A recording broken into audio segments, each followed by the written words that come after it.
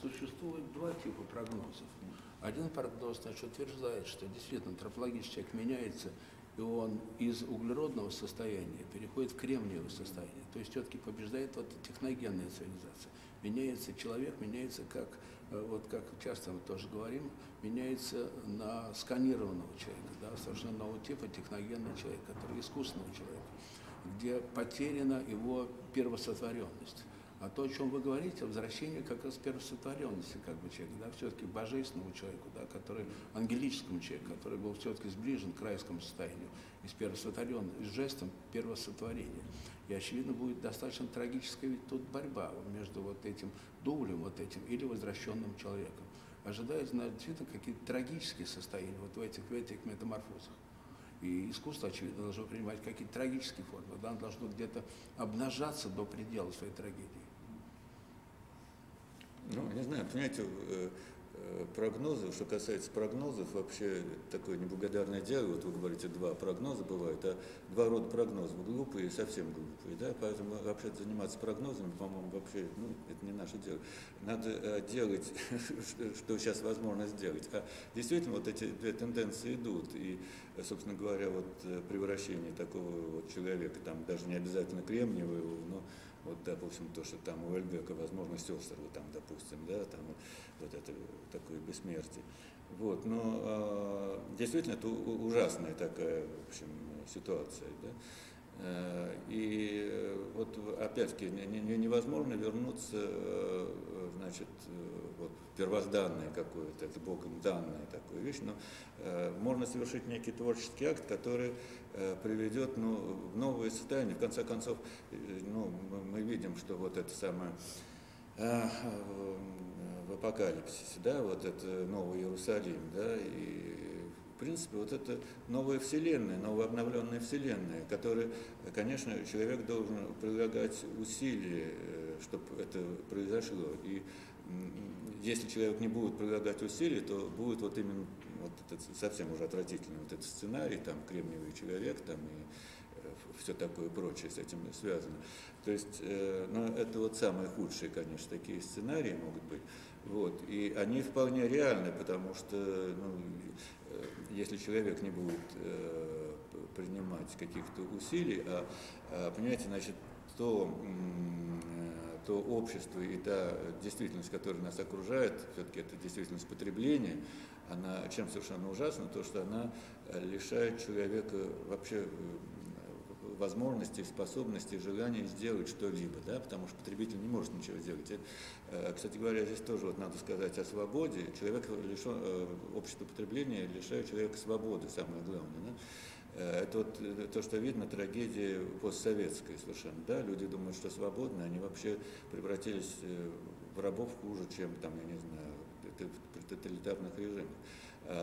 И это происходит потому, что Э, значит, э, путаница вообще, они перепутали свободу с выбором, да, потому что, допустим, в советские времена, ну что, куда можно было поехать, э, там, на Черное море и в Прибалтику все, да, сейчас мы можем поехать там на Сейшелы, и куда там, на Мальдивы, в Испанию, в Турцию, то есть все можем поехать, можем где угодно учиться там, и в Штатах, и в Англии были бы деньги, да, а можем снимать любые фильмы, значит, там, хотим про сумасшедшего Ленина, пожалуйста, про сумасшедшего Ленина, хотим там мастера Маргарита, мастера Маргарита, там, доктора Живаго. В Советском Союзе ничего нельзя было делать, однако люди делали. Был Тарковский был Параджанов, которые делали великие вещи, когда ничего нельзя было делать. Сейчас делают все, но, то есть можно делать все, но значит, а результатов-то нету, да, таких, как какие-то показывал тот же Тарковский или Параджанов, который вообще сидел в тюрьме.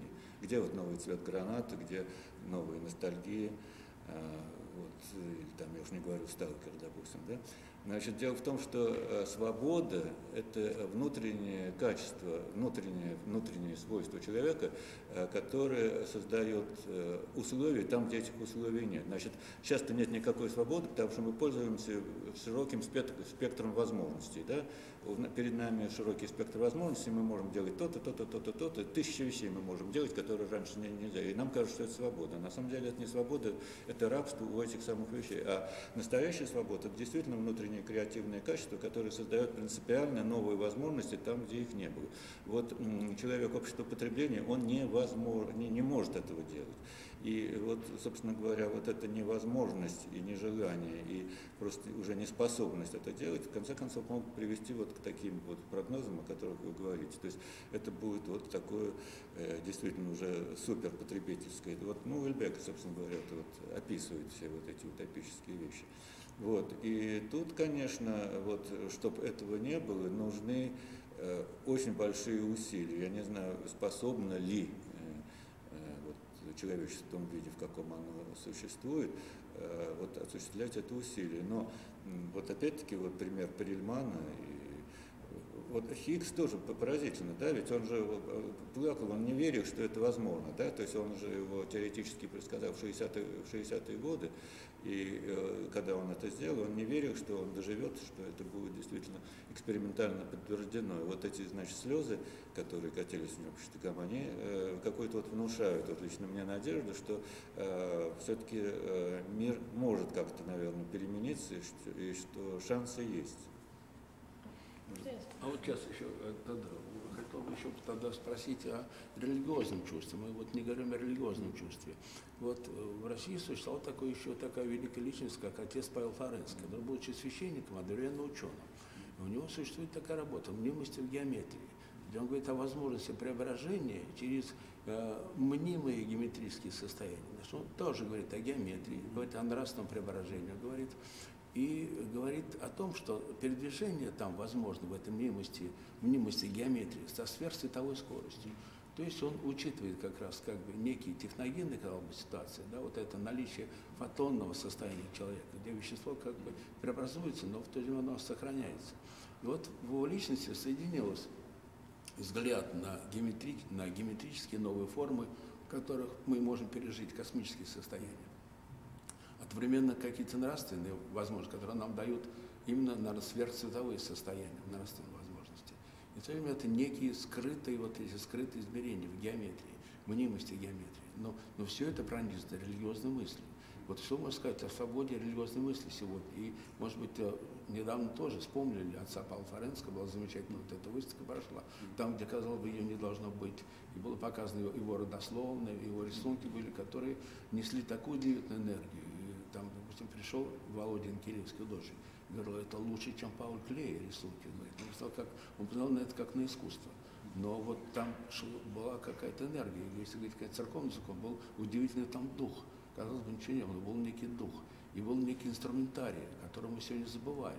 О религиозном преображении, религиозной мысли. Ну да, ну просто, понимаете, ну сейчас даже не, не будем, как говорится, обсуждать. Свободная религиозная мысль сегодня. А, вот, знаете, то, сейчас я скажу, ну просто, значит, это самое э, по поводу отца Павла Флоренского, действительно, это вот такой э, леонардовского такого вообще масштаба человек, он универсальный совершенно, да, и, э, конечно, великий богослов, прям надо сказать, и э, вот этот путь синтеза э, духовной науки и, э, значит, вот, ну, просто науки, да, он э, вообще, с одной стороны, замечательно, но мне кажется, сейчас важнее другое. Э, сейчас действительно вообще вот, ну, переживается такой мировой кризис вообще религии, не только православие, там в католицизме еще хуже, да вообще там, в общем, сами не будем сейчас об этом кризисе говорить, но в связи с этим мне сейчас кажется вот, что очень важно, тоже вот такое сделать э, мост такой к началу тысячелетия, э, перекинуть в начало э, значит, вот, второго тысячелетия с появлением схоластики. И тогда вот появилась такая идея, как идея двойной истины.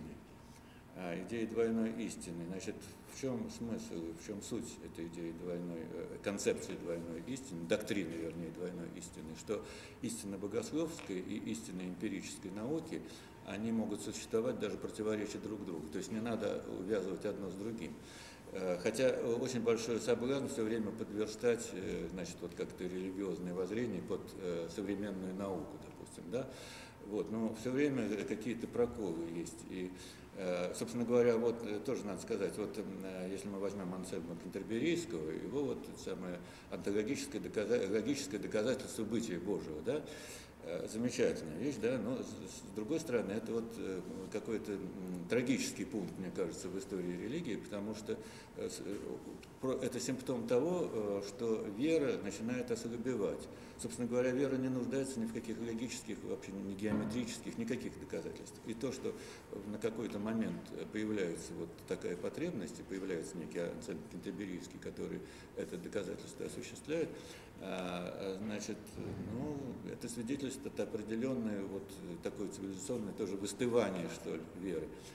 И мне кажется, что сейчас, вот это лично мое такое мнение, что сейчас настает вот такой момент, когда опять-таки нужно новую вот эту доктрину двойной истины сделать, что есть разные опыты, и не надо их смешивать. Есть опыт науки, и есть опыт внутренний, потому что вот вера – это тоже, в конце концов, знание. То есть тут очень такой и э, нельзя, э, как говорится, вот это знание, знание веры, э, никакими, даже вот самыми этими замечательными научными, там разные, мы будем сейчас привлекать эти вещи, мне кажется, не надо путать, их надо развести э, пока что, да, и вот эта доктрина двойной истины.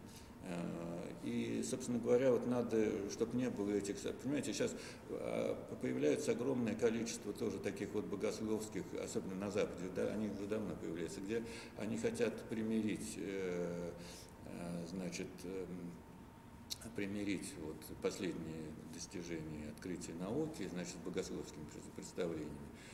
Доходит дело до того, что даже примирить ее с дарвинской эволюцией, или вот, допустим, отец епископ владыка Василий Родзянко, у него есть вот замечательная книжка, значит, «Большой взрыв и вера отцов», где, ну, собственно говоря, это тоже уже давно избитая такая вещь, где получается, что вот это Биг Бенд, это э, взрыв, это и есть акт творения.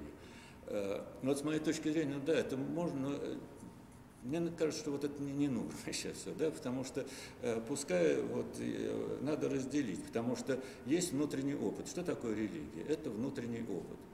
Э, и, собственно, никакие вот эти э, другие знания, они этому опыту помочь не могут. И чем вот скорее мы это поймем, э, то есть мир можно познавать с двух, как сказать, сторон. Да? Его можно значит, познавать внешне, то есть в конечном итоге наукой и искусством, а можно познавать внутренне, аскетически. И, и, и тут вот никаких смычек не может быть. И пускай искусство и культура не подлизываются к этому, и наука не подлизывается к этому, и пускай религия не подлизывается ни к науке, ни к искусству. То есть э, есть вот два пути. Есть вот монашеский путь там, допустим, это, как сказал э, Григорий Пагама, да, значит, говорит, что, э, в общем, за, заниматься вот всеми этими вещами, исследованием Э, вот, научных так, вещей, он перечисляет там, да, познание мира можно, но пусть никто не обольщается, что это может привести к знанию о Боге, потому что знание о Боге э, достигается совсем другими путями. На, намек какой-то, конечно, можно получить, но вот никогда вот этой путаницы не надо допускать, и мне кажется, что сейчас очень важная тоже такая культурная какая-то вот миссия должна, религиозная культурная миссия, что надо это развести. Это лично. Ну, не совсем согласен. Потому что научная парадигма сегодня стала использовать образный инструментарий.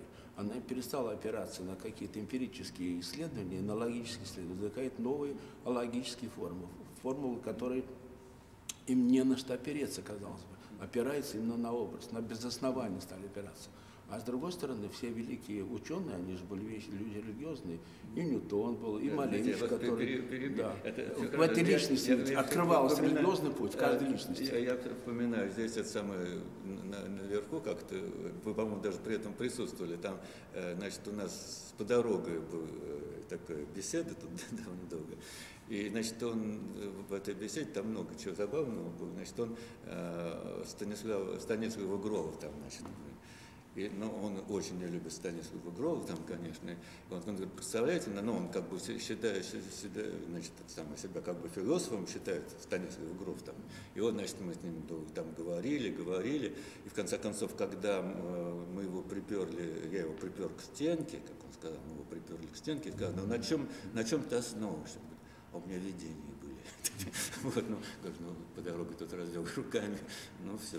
А вместе с тем, действительно, вот эти видения, понимаете, они, может, самое главное, потому все остальное это уже вот это самое инструментарий, там, аппаратура какая-то, вот это доказательство. В конце концов, она, в общем-то, в принципе, она не, не важна, да, она, то есть, понимаете, но с другой стороны, это культура. А вот мне кажется, что действительно мы переходим э, вот, э, на такие вот, на, вот чем вот эта следующая ступень? Вы же используете логику Wittgensteina, совершенно другая логика. Ну да, да, да. Но просто понимаете, но в принципе она еще, все, все это в нашем мире пока происходит, да.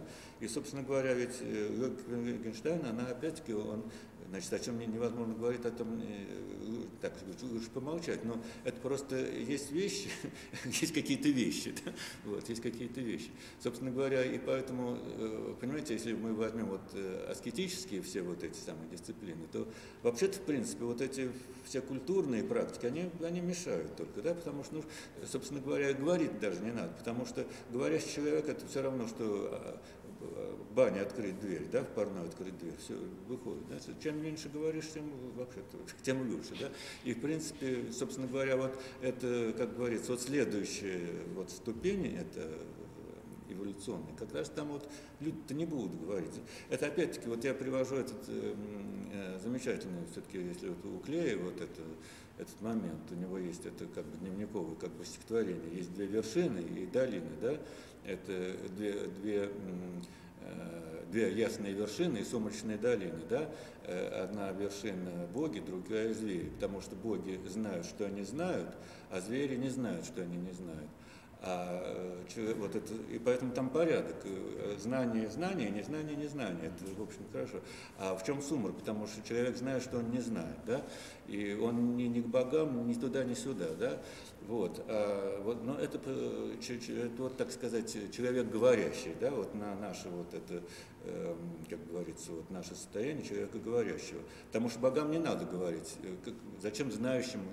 Боги начинают говорить только когда они говорят э, с человеком, да, когда они сообщают что-то, или Бог говорит человеку, да, или, когда боги общаются между собой, им не надо говорить. Так же, как зверям не надо говорить, да, когда они общаются друг с другом, потому что не надо слов, они общаются другим.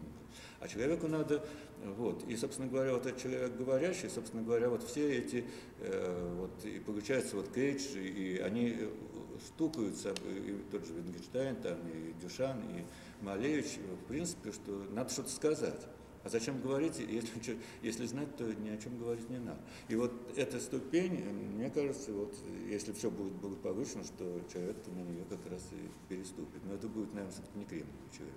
Кирич как раз и говорит, свидетельствует, что человек говорит и не слышит, когда к нему обращают, потому что он говорит в этот момент. Надо перестать говорить. Как раз он буквально повторяет вот эту, эту ну, фразу. Ну, это все, да. ну да, а вместе с тем мы живем в таких условиях, что мы, мы это, то есть, понимаете, значит, это самое, это уже давнешний парадокс, это, э, это самое, любое, я сейчас не помню, я не могу сейчас точно привести, значит, это самое, э, вот это самое, знающий не говорит, говорящий не знает, да, но это сказал еще, это самое, э, Лао Цзэ, да, и, значит, Алибот написал такое стихотворение, вот он сказал, знающий говорит, говорящий не знает, а как же получилось, что он написал трактат 5000 там иероглифов, да, вот, понимаете, но мы живем вот э, такой парадокс, что действительно говорящий не знает, а знающий не говорит. Вот, а, значит, вот получается, что э, знающий не говорит, вот эти боги, как раз, которые на вершине, да, вот, а мы говорим по собственному незнанию просто. Ну, можно свидетельствовать. Когда, допустим, футуристы объявляют, что сбросим Пушкина с пароход современности, в этот момент Малевич пишет трактат «Бог не скинут».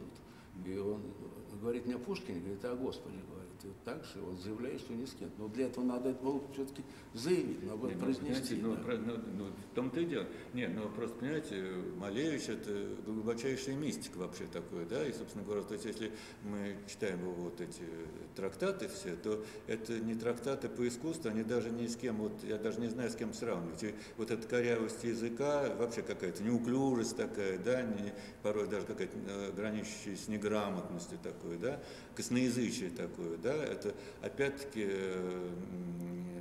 опять-таки Гао Цзэ сказал, что великий оратор подобен Заике. И вот это действительно, потому что он говорит великие мистические вещи совершенно, да, а, ну, в общем, не буду сейчас их приводить там, да, но абсолютно он говорит, это такие ариапагетические тексты, да, их можно только с, с ариапагитом, да, сравнить. Вот, и поэтому даже удивительно, как э, человек, вот, ну, э, будучи как бы деятель культуры и искусства, говорит такими вещами.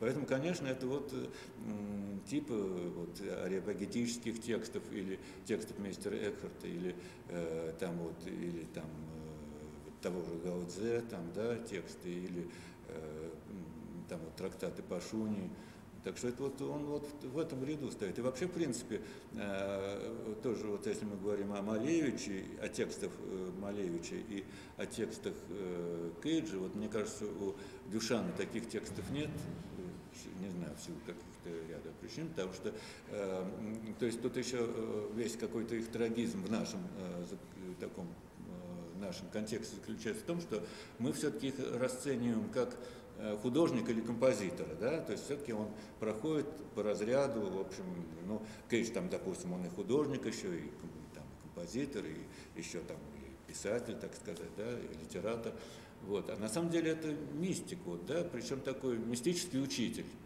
то есть вот Пугана, мастер Экхарта там, допустим, да, и, собственно говоря, вот его проповедь, это не, не произведение искусства, а действительно вот это, ну, опять-таки, вот как Дао Дэцзин такой, да, типа хотя он э, очень хорошо, он всегда как бы, значит, очень как-то всегда э, корректно это делает, что, значит, э, если вы думаете, что это как-то связано и может повредить, то он как бы все время дистанцируется. Это, опять-таки, очень такую деликатность мистическую проявляет.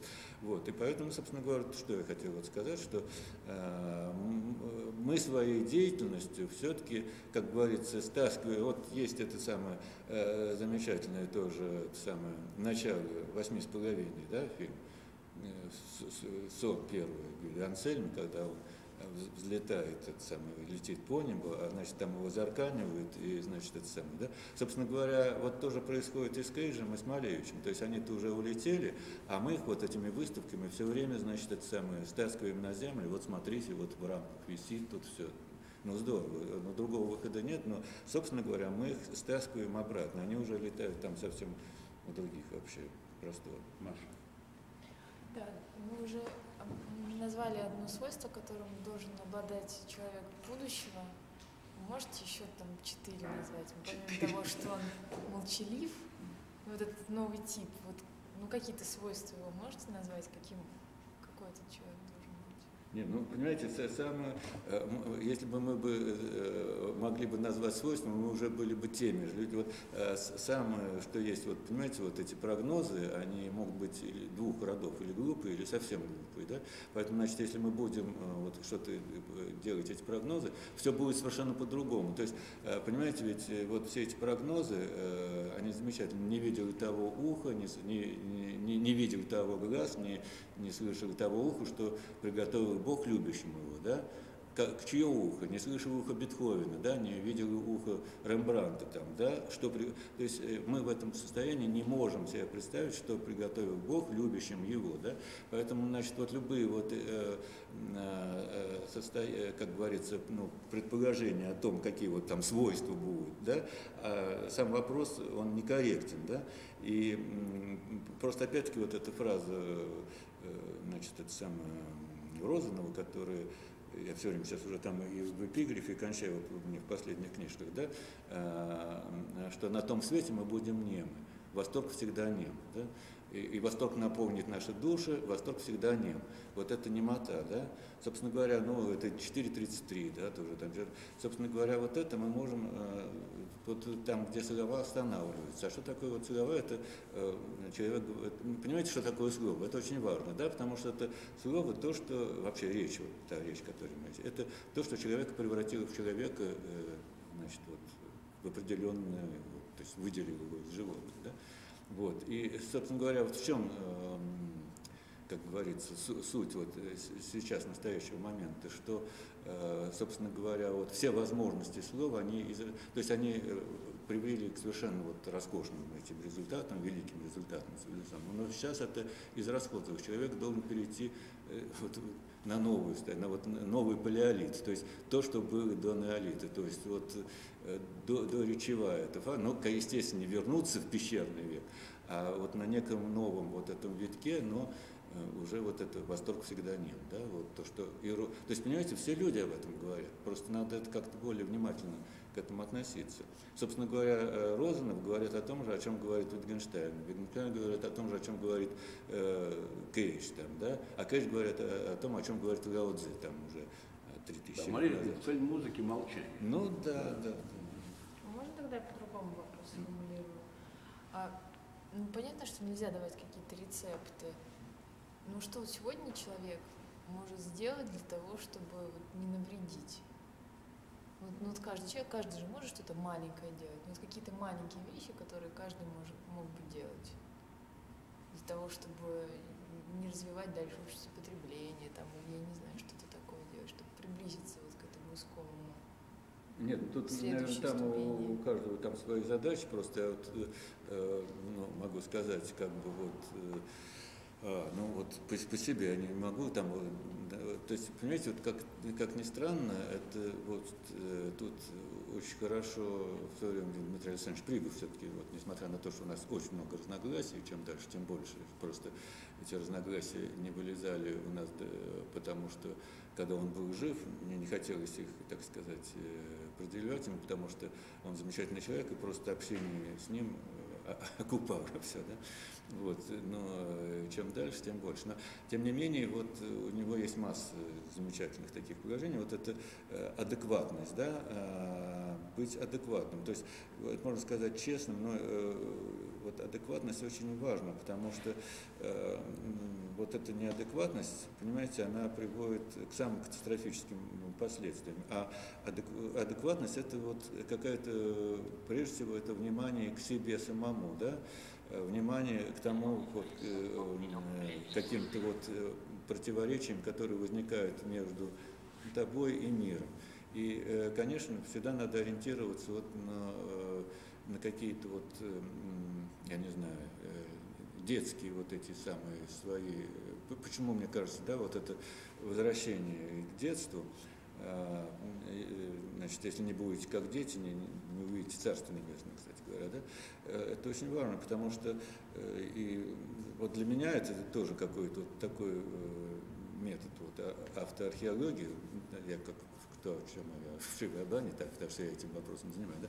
вот это один из тоже таких методов возвращения к себе, да, то есть возвращение к себе, вот к этим самым, к детским воспоминаниям. Дело не в том, что детским, да, а дело в том, что вот, ну, с детьми Бог говорит, и в каждом ребенке это есть, да, и, собственно говоря, и поэтому вот все, конечно, он тоже как ребенок, да, вот ведь получилось так, что мне вот выпало тоже такое великое счастье с ним пообщаться.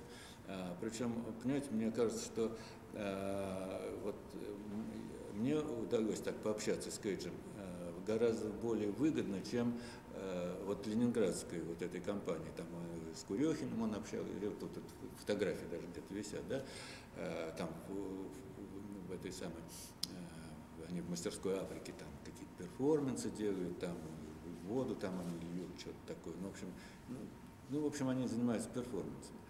А у нас получалось так, что мы просто с Ивашкиным поехали, значит, на метро на московском поехали, просто э, выпивали немножко тогда. Он нарвал этой самой, прямо в этом московском дворике, он нарвал какую-то траву там, да, тут же это там готовили, часа три просто вот без всяких перформансов, просто вот так, как говорится, ля-ля.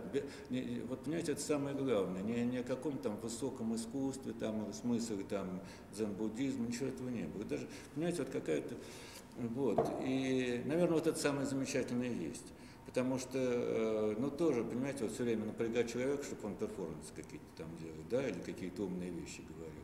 И вот мне кажется, что вот эти минуты были очень просто вот как какой-то этой траве, что-то он там рассказывал, тоже он, все эти самые, удивлялся тогда, это было тогда, что у Ивашкина там, значит, компьютер стоял, ну, вообще даже не ожидал, что там в Советском Союзе. Удивлялся, что там это самое, вот как регулярно метро ходит, там очень часто, он говорит, у нас так не ходит. Ну, в общем, вот на, на каком-то таком уровне, в общем, это было.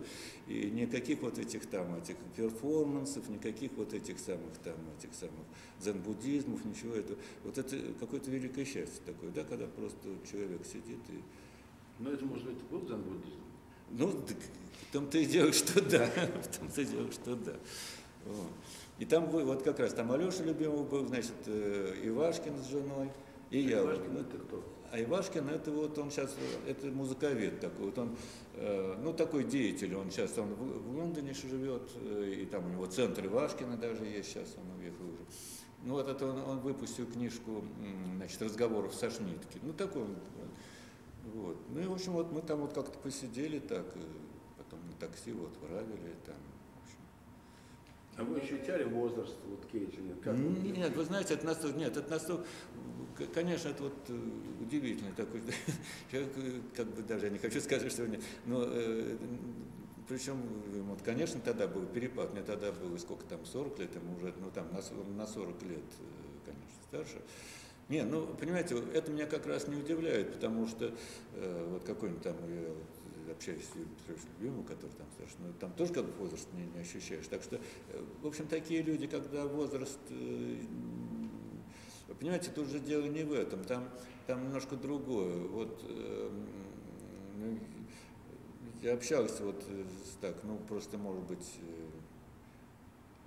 вот с такими людьми, как, ну, вот там Булес, допустим, да, ну, там возраст не возраст, но это такой человек, ну, с которым там это, в общем, сложный человек, да, в общем, и, э, ну, вообще вот композиторы по большей степени, они, конечно, вот э, такие, как бы, а, а он действительно это такой, наверное, э, такой вот зенский человек, потому что это очень, очень просто, да, и, наверное, вот мне кажется, что, ну, я не знаю, но мне кажется, что вот, вот в нашей компании, ну, не то, что и ему просто, может, как-то удалось э, чуть-чуть отдохнуть, потому что я так почувствовал, что везде от него требуют вот, э, вот этого какого-то поднятого пальца, такого глубокомыслия, там вот, и, вот ну просто вот посидеть, что называется.